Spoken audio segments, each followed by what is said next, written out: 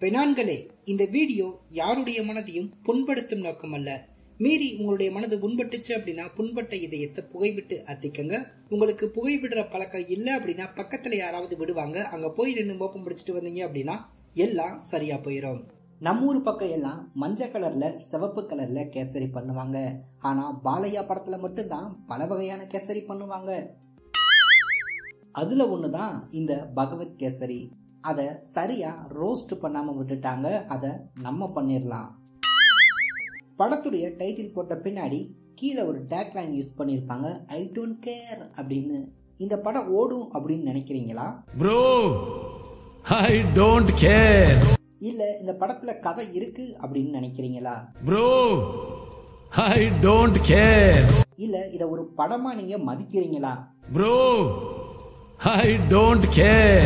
இந்த படனால இந்த படத்துடைய ப்ரொடியூசருக்கு லாபம் கிடைக்குமா Bro, I don't care. எல்லாத்துக்குமே Bro, I don't care. ஒரே பதில் தானா Bro, I don't care. படத்தை ஆரம்பிச்ச உடனேயே டேய் மும்பை ஹைகோர்ட்டோட ஜீப் சர்ச்சினி நீ. வந்து இங்கே ஒளிஞ்சிருக்க அப்படின்னு கேட்டதுக்கு ஒரு கேஸில் தீர்ப்பு சொல்ல போனேன். அதுக்கு என்னை மிரட்டினாங்க. நான் சென்ட்ரல் கவர்மெண்ட்டுக்கு அடிஷ்னல் செக்யூரிட்டிக்கு அப்ளை பண்ணுறதுக்கு முன்னாடி என்னுடைய லேப்டாப்பை சுட்டு தள்ளிட்டாங்க அப்படின்னு இவர் ஒரு கதை சொல்கிறாரு டேய் இந்த கதை நல்லா இல்லடா. நான் ஒரு கதை சொல்கிறேன் அப்படின்னு அவர் ஒரு கதை சொல்ல ஆரம்பிக்கிறாரு. வனராஜா பகவத் கேசரி அப்படின்னு ஒரு கதையை சொல்ல ஆரம்பிக்கிறாரு. இந்த கதையை சொல்லி முடிக்கிறதுக்குள்ள படத்துடைய கிளைமேக்ஸ் வந்துடுது கிளைமேக்ஸ் மட்டும் இல்ல கிளைமேக்ஸோட இங்க ஒளிஞ்சிருக்கவங்களுக்கு வீரமும் வந்துடுது அடுத்து வேதாள வருமா அப்படின்னு கேட்கக்கூடாது. சில பொறுக்கிகளை போலீஸ் பொறுக்கிட்டு வந்து இங்க செல்லுல அடைக்கிறதுக்காண்டி செல்போன்ல பேசிக்கிட்டு இருக்காங்க. அடட அங்கதான் நம்ம சுப்ரீம் ஸ்டாரை காட்டுறாங்க. இந்த பொறுக்கிகள் எல்லாத்தையுமே பொறுக்கிட்டு வந்து ஏ பிளாக்ல தான் போடணும் அப்படின்றது தான் ரூல் ஆனால் கவர்மெண்ட்லேயே பி பிளாக்ல போட சொல்லி ஆர்டர் வந்திருக்கு சார் அப்படின்னு சுப்ரீம் ஸ்டார் கிட்ட சொல்றாங்க. பி பிளாக்ல விஐபிகள் யாராவது இருக்காங்களா அப்படின்னு கேட்க ஆமாம் சார் ஒரு விஐபி இருக்காரு அப்படின்னு சொல்ல அவரை கொள்ள தான் இவங்க வந்திருக்காங்க அப்படின்றத சூசகமாக கண்டுபிடிக்கிறாரு சுப்ரீம் ஸ்டாரு உடனே நான் வேகமாக வரேன். அவங்கள பி பிளாக்ல போடாதீங்க.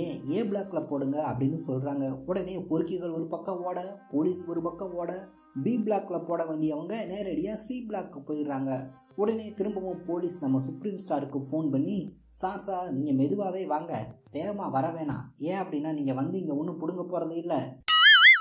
பி பிளாக்கு போக வேண்டியவங்க நேராக சி பிளாக் போயிட்டாங்க அப்படின்னு சொல்கிறாரு சி பிளாக் போனால் என்னையா அப்படின்னு கேட்டால் அங்கே தான் சார் நம்ம கிரிஞ்சு ஸ்டாரு பகவத் கேசரி இருக்காரு அப்படின்னு சொல்கிறாரு அப்போ தான் நம்ம கிரிஞ்சு ஸ்டார் பகவத் கேசரி அவருடைய என்ட்ரி டீ இருக்க கிளாஸை விட்டு டீ இல்லாத கிளாஸை எடுத்து ஆத்து ஆத்துன்னு ஆத்திக்கிட்டு இருப்பாரு.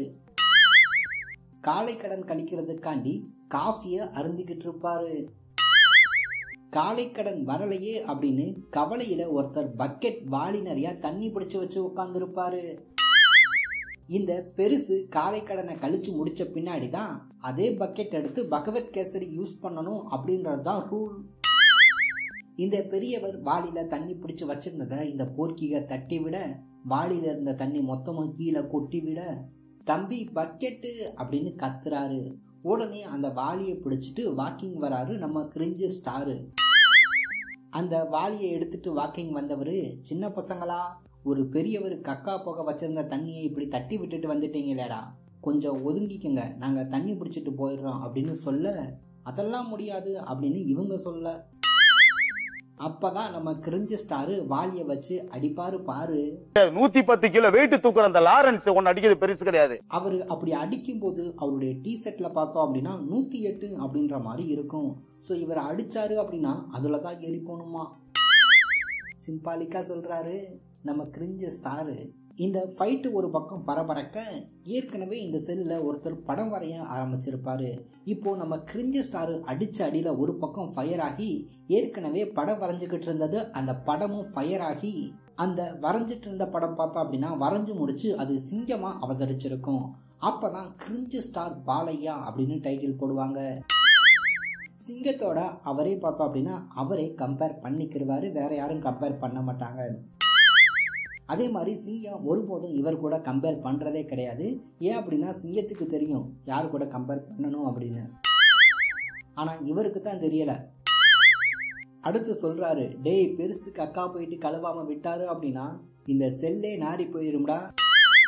நீங்கள் எல்லாம் மூச்சு முட்டி செத்து போயிருவீங்க அப்படின்னு சொன்னனால தண்ணியை பிடிச்சிட்டு போய் தொலைங்க அப்படின்னு இவங்க சொல்கிறாங்க காஃபி குடித்த உடனே கக்கா வருது நிம்மதியாக கக்கா போக விட மாட்டீங்க அப்படின்னு வாளியை எடுத்துட்டு தண்ணி அடிக்க வராரு நம்ம கிரிஞ்சு ஸ்டாரு.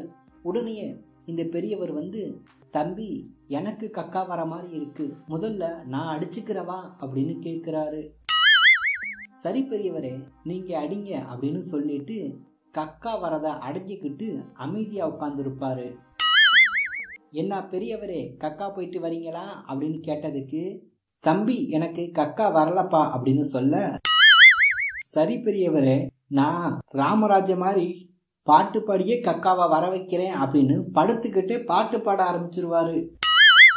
சண்டை போயிட்டு இருக்கும்போது ரெண்டு கதுக்கு நடுவில் எதுக்கு பிரெயின் இருக்கு தெரியுமா அப்படின்னு கேட்பாரு அது இருந்தால் இவர் ஏன் சார் உங்கள் படத்தில் நடிக்க போகிறாரு அடுத்து இவங்க எல்லாம் அண்ணே நீங்களும் அந்த பெரியவரும் கக்கா போயிட்டு கழுவாமல் விட்டால் இந்த செல்லு இல்லை இந்த ஜெயிலே நாரி போயிடும் அப்படின்னு பக்கெட் பக்கெட்டாக தண்ணியை பிடிச்சி கொடுக்குறாங்க.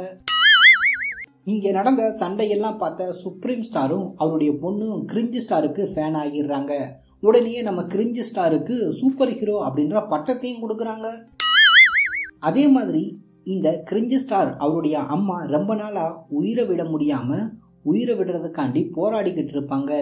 ஊர் மக்கள் எல்லாமே சேர்ந்து கிரிஞ்சு ஸ்டார் வந்து இவங்க அம்மாவை பார்த்தாரு அப்படின்னா அந்த அம்மா அதிர்ச்சியில் உயிர் போயிடும் அப்படின்ற மாதிரி பிளான் பண்ணுறாங்க அடுத்து சுப்ரீம் ஸ்டார் கிட்ட சூசகமா சொல்றாங்க. இவர் வந்து அவங்க அம்மாவை பார்த்தாலே அவங்க அம்மா அதிர்ச்சியில உயிர் போயிடும் அது வரைக்கும் அந்த அம்மா இழுத்துக்கிட்டு கிடக்கதை எங்கனால பார்க்க முடியல அப்படின்னு சொல்ல சுப்ரீம் ஸ்டாரு இவரை சூசகமா டிபார்ட்மெண்ட்டுக்கு தெரியாம அனுப்பி வச்சு அவங்க அம்மால பார்க்க வைக்கிறாரு. ஊர் மக்கள் எல்லாருமே எதிர்பார்த்தது போலவே அவங்க அம்மா இவரை பார்த்த உடனே அதிர்ச்சியில மரணம் அடைஞ்சிடுறாங்க. அட பாவிகளா அந்த அம்மா உயிரோட இருந்தாலும் இருந்திருக்கும். இப்படி பண்ணிட்டீங்களையா? சுப்ரீம் ஸ்டாரு ஏற்கனவே நம்ம கிரிஞ்சு ஸ்டாரை டிபார்ட்மெண்ட்டுக்கு தெரியாமல் அவங்க அம்மாவை பக்கம் கூட்டி போனார் இல்லையா? நம்ம சுப்ரீம் ஸ்டாரு. அவரை பார்த்தோம் அப்படின்னா டிபார்ட்மெண்ட் சஸ்பெண்ட் பண்ணிடுறாங்க திரும்ப ரீஜாயின் பண்ணுறாரு ரீஜாயின் லெட்டர் வாங்குறதுக்காண்டி ஆஃபீஸ் போகிற வழியில் ஆக்சிடென்ட் ஆகி ஹாஸ்பிட்டலில் அட்மிட் ஆகிடுறாரு அப்போது சுப்ரீம் ஸ்டாரு கிரிஞ்சு ஸ்டார்கிட்ட சத்தியம் வாங்குறாரு. நீ என் பொண்ணை ஆர்மி மேனாக வளர்க்கணும் அப்படின்னு சத்தியம் வாங்கிட்டு செத்து போயிடுறாரு. உடனே சுப்ரீம் ஸ்டார் பிள்ளையாக இருந்த அந்த குழந்தை இப்போ கிரிஞ்சு ஸ்டார் பிள்ளையாக அவதரிச்சிருக்கும். கிரிஞ்சு ஸ்டார் பிள்ளையா அவதரிச்சிச்சு அப்படின்னா அது சும்மா இருக்கணும் இல்லையா? அதோடைய கிரிஞ்சுத்தனத்தை பண்ண ஆரம்பிச்சிருக்கும். சந்தோஷ் சுப்பிரமணியம் படத்தில் எப்படி ஒரு கிறுக்குத்தனமான ஜெனலியாக இருக்குமோ அதே மாதிரி ஒரு லூசுத்தனமான கிரிஞ்சுத்தனமான ஒரு மகளாக கிரிஞ்சு ஸ்டாருடைய மகள் இந்த படத்தில் அவதரிச்சிருக்கும். கிரிஞ்சு ஸ்டார் மகள் போலீஸ் மேலே இடிச்சனால போலீஸ் இவங்களை போலீஸ் ஸ்டேஷனுக்கு கூட்டி போயிருப்பாங்க. அங்கே அந்த போலீஸ்காரர் பாப்பாளுக்கு பாடியை காட்டுறேன் அப்படின்னு சொல்லிட்டு கடைசியில் பார்த்தோம் அப்படின்னா அவருடைய சட்டையை அவுத்து பனியனை காட்டுவார். பனியனுக்கும் பாடிக்கும் வித்தியாசம் தெரியாத போலீஸாக இருக்காரு. இவரெல்லாம் எப்படியா போலீஸ் வேலைக்கு எடுத்தாங்க? இப்போ போலீஸ் ஸ்டேஷனுக்கு நம்ம கிரிஞ்சு ஸ்டார் உள்ள என்ட்ரி ஆவார். என்ட்ரி ஆனவுடனே இந்த போலீஸ்காரர் இவரை டீ வாங்கிட்டு வர சொல்றாரு. தலைவனை டீ வாங்கிட்டு வர சொன்னதே தப்பு. அதுல டீக்கு சூடு பத்தல சூடு பண்ணி வாங்கிட்டு வா அப்படின்னு சொல்றாரு. உடனே சூ வார்த்தையை நம்ம தலைவர் யூஸ் பண்ணியிருப்பாரு. பொண்ணுங்க இருக்காங்க அப்படின்றதுக்காண்டி யூஸ் பண்ணல. டீயில் சூடு பத்தல அப்படின்னு சொன்ன உடனே பக்கத்துல இருந்த சரக்கு பாட்டில் எடுத்து இவருடைய இடுப்புல ஊத்தி இடுப்பை அடுப்பாக்கி அதுல பார்த்தோம் அப்படின்னா டீயை சூடு பண்ணிக்கிட்டு இருப்பாரு நம்ம கிரிஞ்சு ஸ்டாரு இந்த சீனை எப்படி சொல்றது? ஒரு எமோஷனலான சீன் அப்படின்னு சொல்லலாமா? இல்ல ஒரு ரகடான சீன் சொல்லலாமா? இல்ல ஒரு காமெடி சீன் எப்படி சொன்னாலும் இடிக்குதே. நான் இடுப்பில் ஆம்லேட் போட்டவனை கூட பார்த்துருக்கேன். ஆனால் இடுப்பை அடுப்பாக்கி இந்த மாதிரி டீ சூடு பண்ணுறவனை இப்போ தான் பார்க்குறேன். அதில் அந்த போலீஸ்காரர் மேலே நெருப்பு எரிஞ்சுக்கிட்டு இருக்கும். இடுப்பை அடுப்பாக்கி வச்சுட்டு இருப்பாரு. அவர் பார்த்தோம் அப்படின்னா நெருப்பு எரியுது அப்படின்றது அலறுற மாதிரி கத்தணும் இல்லையா அதை செய்யாம கிச்சு கிச்சு மூட்டினா எந்த மாதிரி கூசுமோ அந்த மாதிரி பண்ணிக்கிட்டு இருப்பாரு. ஒருவேளை கிரிஞ்சி ஸ்டார் படத்துக்கு இது போதும் அப்படின்னு நினைச்சு பண்றாரோ? எனக்கு அவர் மேல ஒரு சந்தேகம் இருக்கு. அப்போதான் கிரிஞ்சி ஸ்டார் ஒரு டைலாக் ஒன்று பேசுறாரு. இதே வேலை பண்ணிக்கிட்டு இருந்த தோலை உரிச்சு டோல்கேட்டில் தொங்க விட்டுருவேன் அப்படின்னு சொல்கிறாரு டோல்கேட்டில் தொங்க விட்டு புண்ணியம் இல்லையே பாஸ். நீங்கள் ஏதாவது கறிக்கடையாக பார்த்து தோலை உரிச்சு தொங்க விட்டீங்க அப்படின்னா காசாவது கிடைக்கும். டோல்கேட்டில் என்ன கிடைக்கும்? ஒன்றும் கிடைக்காது. இருக்கதையும் பிடிங்கிட்டு தான் அனுப்புவானுங்க. தேவையாதெல்லாம் நமக்கு. எல்லா பெரிய பட்ஜெட் படத்துலையும் எப்படி ஒரு கார்பரேட் வில்லன் இருப்பானோ அதே போல் இந்த படத்தில் ஒரு கார்பரேட் வில்லன் இருக்கான் ஆனால் கால் உடஞ்ச கார்பரேட் வில்லனாக இருக்கான் பொதுவாக கார்பரேட் வில்லன் எல்லாருமே வில்லத்தனம் பண்ணுறேன் அப்படின்ற பேரில் வில்லத்தனத்தை தவிர்த்து வித்தியாசமாக ஏதோ ஒன்று பண்ணிட்டு இருப்பாங்க. அதே போல தான் இவரும் அறபோதையில் பியானம் வாய்ச்சிட்டு இருப்பாரு வில்லத்தனத்தை விட்டுட்டு. இந்த கார்ப்பரேட் வில்லன் கஞ்சா கடத்திருப்பாரு உடனே கப்பல்ல வச்சு கஸ்டம்ஸ் ஆபீசர்ஸ் பிடிச்சிருப்பாங்க. அந்த கஞ்சா எல்லாத்தையுமே. கஞ்சாவோட சேர்த்து இந்த கார்ப்பரேட் வில்லனுடைய மகனும் மாட்டிக்கிடுவான். ஸோ அந்த கஞ்சாவோட சேர்ந்து மகனும் மாட்டட்டும். மகனை அங்கேயே போட்டு தள்ளிடலாம் அப்படின்னு முடிவு பண்ணுவாரு. ஸோ மகனவே போட்டு தள்ளிட்டாரு. இவர் கார்ப்பரேட் வில்லன்லேயே ஒரு ரகடான வில்லனா இருப்பாரு அப்படின்ற மாதிரி எதிர்பார்ப்போம். கடைசியில தான் தெரியும் இவர் கார்ப்பரேட் வில்லன்ல கார்ப்பரேஷன் வில்லன் அப்படின்றது. இந்த படத்துல காஜல் அகர்வால் இருப்பாங்க.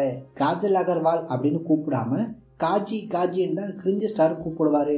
நம்ம காஜிக்கும் நம்ம கிரிஞ்சு ஸ்டார் மேல ஒரு காதல் ஒன்று இருக்கும். அதனால கிரிஞ்சு ஸ்டாருடைய மகனும் இந்த காஜல் அகர்வாலும் ஒரு டீலிங் ஒன்று வச்சுக்கிறாங்க. உங்க அக்காவை நான் வச்சுக்கிறேன். என் பேக்கரியை வேணா நீ வச்சுக்க அதுக்கு நீ என்ன சொன்ன? பட் அந்த டீலிங் எனக்கு ரொம்ப பிடிச்சிருந்துச்சு. நீ வேணா என் சித்தப்பனை வச்சுக்கோ. நான் என் காதலனை வச்சுக்கிறேன் அப்படின்னு கிரிஞ்சு ஸ்டாருடைய மகள் கிரிஞ்சு பண்ண ஆரம்பிச்சிடுறாங்க. இவர் சும்மா இருக்காம நம்ம கிரிஞ்சு ஸ்டாருடைய மகளை கிஸ் பண்ண போயிடுவாரு. இதனால கடுப்பான கிரிஞ்சு ஸ்டாரு இவங்களுடைய வீட்டுக்கு போய் ஃபைட் பண்ணுவாரு அப்படின்னு பார்த்தா நான் ஒரு முன்னாள் போலீஸ் அதிகாரி அப்படின்றத ரிவீல் பண்ணிட்டு இருப்பாரு. அதுதான் படத்துல சஸ்பென்ஸ் அது மட்டும் இல்லை வீட்டுக்கு போனவர் என்ன பண்ணுவார் அப்படின்னா அந்த வீட்டுக்கு போயிட்டு எதிரி வீட்டுக்கு போயிட்டு எனக்கு ஏலக்காட்டி வேணும் அப்படின்னு கேட்பாரு. உடனே அங்க இருக்க சமையல்கார் எனக்கு இருக்கதே ஒரே ஒரு அக்கா தான் ஏழு அக்காவுக்கு நான் எங்க போவேன்? அப்படின்னு கேட்பாரு இந்த கார்ப்பரேட் வில்லன் காலை ஊண்டி நடக்க ட்ரை பண்ணுறதை விட்டுப்புட்டு ஊரில் இருக்க ஆள் எல்லாத்தையுமே போட்டு தள்ளிட்டு நான் தான் நம்பர் ஒன் ஆகணும் அப்படின்ற மாதிரி கொலை பண்ணிக்கிட்டு இருப்பான். அப்படி கொலை பண்ணிக்கிட்டு இருக்க நேரத்தில் இந்த ஆள் வந்து கிரிஞ்சு ஸ்டாருடைய மகளுடைய லேப்டாப்பை வாங்கி நான் ஒரு டிக்கெட் புக் பண்ணிக்கிறேன் அப்படின்னு ஒரு சம்பவத்தை பண்ணி விட்டுட்டு போயிடுவாரு இதனால கார்ப்பரேட் வில்லனுடைய ஆட்கள் எல்லாமே காலு கிரிஞ்சி ஸ்டாருடைய மகளை தேட ஆரம்பிச்சிருப்பாங்க. அடுத்து என்னடான்னா கிரிஞ்சி ஸ்டாருடைய மகள் அவங்களுடைய காதலனை வீட்டுக்கு பொண்ணு கேட்டு வர வச்சிருப்பாங்க. அங்க பொண்ணு கேட்டு வந்தவங்ககிட்ட நம்ம கிரிஞ்சி ஸ்டார் என்ன சொல்லுவாரு அப்படின்னா உங்ககிட்ட பணம் இருந்துச்சு அப்படின்னா அதை சுருட்டி உன்னோட சூ வச்சுக்க அப்படின்னு சொல்லிப்புட்டு திரும்ப பார்த்தோம் அப்படின்னா உன்னுடைய சூட்கேஸில் வச்சுக்க அப்படின்னு சொல்லுவார். சொல்கிறதெல்லாம் சொல்லிப்புட்டு. இதனால் கடுப்பான அந்த மாப்பிள்ளை பார்த்தோம் அப்படின்னா கோபத்தில் போயிடுவார் இதனால் கிரிஞ்சு ஸ்டாருக்கும் கிரிஞ்சு ஸ்டார் மகளுக்கும் ஒரு விரிசல் ஒன்று விழுந்துடும் இதனால் ரெண்டு பேருமே பேசிக்கிற மாட்டாங்க. இதை சாக்கா வச்ச அந்த கார்ப்பரேட் வில்ல என்ன பண்ணுவான் அப்படின்னா கிரிஞ்சு ஸ்டாருடைய மகளை பிளான் பண்ணி அவனுடைய இடத்துக்கு தூக்கிட்டு வர வச்சிருப்பான். நம்ம தலைமை கிரிஞ்சு ஸ்டார் சும்மா இருப்பாரா என்ன? மகளை தேடி வரக்கூடிய கிரிஞ்சு ஸ்டார் சும்மாவா வருவாரு? இல்ல இல்ல லாரியை எடுத்துட்டு வருவாரு. மகளை தேடி வரக்கூடிய கிரிஞ்சு ஸ்டார் சும்மாவா வருவாரு? இதுக்கு முன்னாடி நம்ம பல படங்கள்ல பைக் வீலிங் பார்த்துருப்போம் கார் வீலிங் பார்த்துருப்போம். லாரி வீலிங் பார்த்துருக்கவே மாட்டோம். ஆனா தலைவன் லாரியில வீலிங் பண்ணி வருவான். அந்த லாரி டாப்ல பறக்கும் திரும்ப அதே லாரி டாப் இல்லாம பறக்கும். இருந்து நம்ம கிரிஞ்சு ஸ்டாரு எதையுமே பிடிக்காம நங்குற மாதிரி நச்சுன்னு நிற்பாரு அரபாடால ஏறினா கூட ஆணி அடிச்ச மாதிரி நடுவுல நின்று எதையும் பிடிக்காம வருவாரு எங்க அண்ணன். இதோட கிரிஞ்சு சீன் முடிஞ்சிச்சா அப்படின்னா அதுதான் இல்ல லோடிங் நான் ப்ரோ ஒரு அளவுக்கு தான் ப்ரோ எல்லாமே. லாரியில வந்தவர் எலக்ட்ரிசிட்டி வயரை பிடிச்சு அவருக்கு எதிர்த்தடிக்காம எதுவுமே ஆகாம எர்த்துல லேண்ட் ஆவாரு. அடே கிரிஞ்சு ஓவர்லோட் ஆகிட்டு இருக்குடா குறைச்சிக்க. அந்த டீகோடிங் நோட் பண்ணீங்களா? ஹைலி பிளம்மஃபில் கெப்பாசிட்டி ஆறாயிரம் லிட்டர் இங்க ஒருத்தர் சொல்லுவாரு நாங்க நூறு பேர் நீ ஒரு ஆளு அப்படின்னு. உடனே ஒத்தே ஆளா அந்த நூறு பேரையும் சும்மா துண்டு துண்டா பீஸ் பீஸா ஆக்கிட்டு Bro, I don't care. அப்படின்ட்டு போவாரு. நம்புற மாதிரி தானே இருக்கு. நம்பிக்கை. அதானே எல்லாம்.